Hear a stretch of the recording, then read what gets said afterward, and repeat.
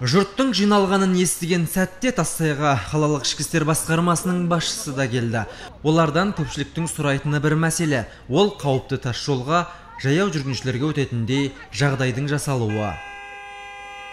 Лежащий полицей қойсын. Аналар сен милицияңа отырып егер тағы бір неше де рота әкелсең де олар сол бойынша сол скоростьпен кетеді екі жақтан да сол үшін обязательно лежащий полиция қою керек. Сонда ғана халық сәл болса да аналар жай жүреді.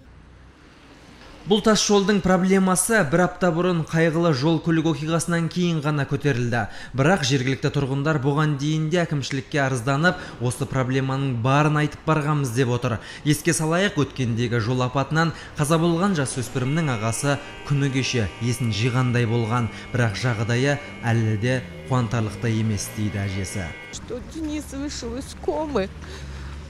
Он дышит. Он уже самостоятельно, уже а, убрали аппарат дыхательный от него.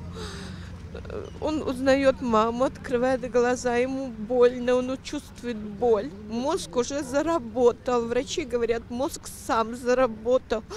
Они его не выводили. Потому что, ну, ноги, руки, это все остальное. Ну, вот у него нет зубов, совсем выбита челюсть, прооперирована она, нижняя челюсть.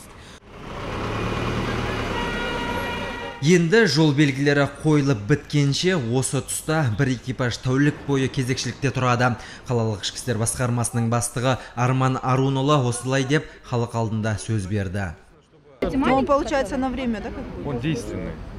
Если Скажите, а водитель его знает, что здесь стоит, он в любом случае не замедляет будет движение. А скажите, а Денежку потом в дальнейшем можно будет на светофоре установить камеру? Потому что вот Еще знак установим а в ограничение том здесь. году ал әкімдік өкілдері тіпті жағымды жаңалықты арқалап келіпті олар бір тәуліктің ішінде жылдамдықты төмендететін арнайы белгіні орнатамыз деп сендірді И сондай ақ қосымша арнайы жол белгілері орнатылатын болады Ә, атап айтатын болсақ ә, жылдамдықты шектеу жол белгілері екі беттен де қосымша орнатылатын болады. И және де тегіс емес жол белгілері орнатылатын болады.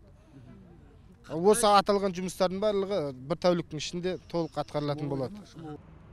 Жолда дыбыс шығаратын арнайы сызықшадан бөлек жылдамдықты төмендететін белгі уақытша болуы мүмкін. Өйткені алдағы жоспар бойынша дәл осы жол учаскесіне бұрынғы бағдаршаммен жаяу жүргіншілер жолағы қойылатын түрі бар. Әкімшілік өкілдері биылғы қыркүйек айына дейін орнатамыз деп отыр. Ернар балабеков ғани бектемесов отырар телеарнасының жаңалықтар қызметі.